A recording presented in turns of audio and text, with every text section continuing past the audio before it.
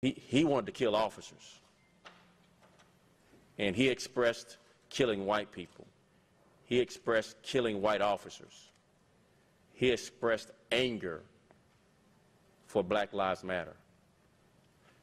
None of that makes sense. None of that is a reason or legitimate reason to do harm to anyone. So the rest of it would just be speculating on what his motivations were. We just know what he said.